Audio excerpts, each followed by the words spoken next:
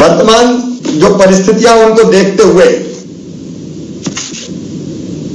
एक तो हम आज, कल से ये तय कर रहे हैं कि कक्षा एक से लेके कक्षा बारह तक के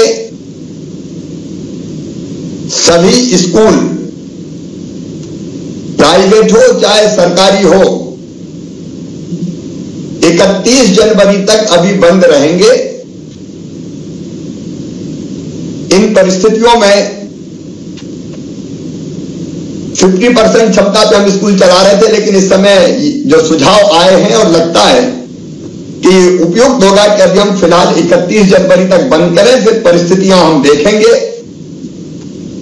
उन परिस्थितियों के हिसाब से फिर आगे हम फैसला करेंगे। तो कल 15 जनवरी से 31 जनवरी तक हमारे स्कूल बंद रहेंगे। इसी प्रकार सभी प्रकार के मेले,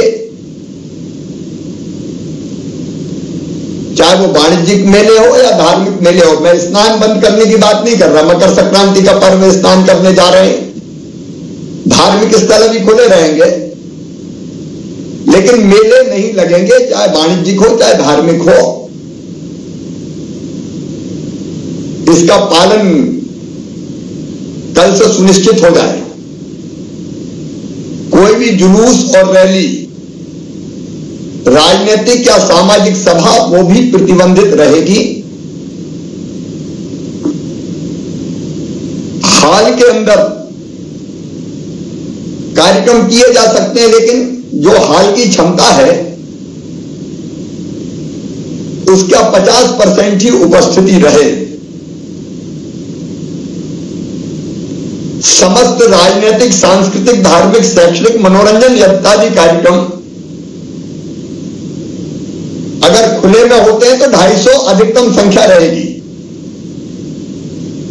इससे ज़्यादा की संख्या के नहीं होंगे। जो विभाग में हमने संख्या रखी है भाई। लेकिन बड़ी रैली, बड़ी सभा, बड़े आयोजन वो अभी प्रतिबंधित किए जाते हैं। सभी प्रकार की खेल गतिविधियाँ,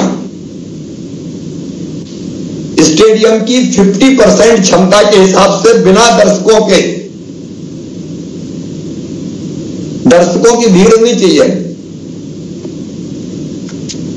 लेकिन स्टेडियम की क्षमता की 50 परसेंट केवल खिलाड़ी रहे, वो की जा सकेंगी।